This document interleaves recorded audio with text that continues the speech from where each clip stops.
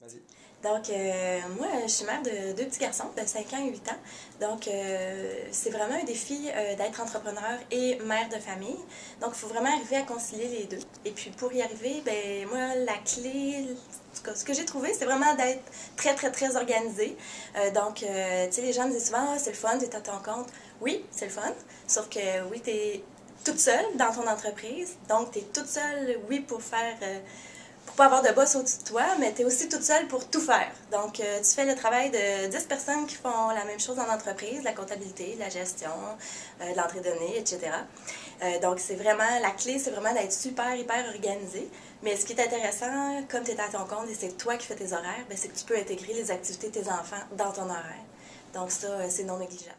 À mon avis, euh, être une mère, c'est une grosse influence sur euh, le fait d'être chef d'entreprise. Euh, bon, comme on le sait tous, les femmes, ça gère pas une entreprise de la, même façon que nos collègues masculins. On est peut-être plus, justement, plus à l'écoute des besoins de nos clients et de notre personnel, de, de là notre relation avec nos enfants. Je pense que ça nous influence positivement. On est aussi plus multifonctionnel. Donc, nous, comme on doit combiner les tâches de la maisonnée aux tâches de gestion, ben, on arrive à trouver des moyens qui sont pas mal originaux euh, pour organiser notre quotidien. Aussi, il y a tout le côté aussi psychologique, euh, de la psychologie en entreprise. Donc, euh, ça, nous ça nous donne des trucs de notre expérience de, de, mère de famille pour évoluer dans le monde de la business.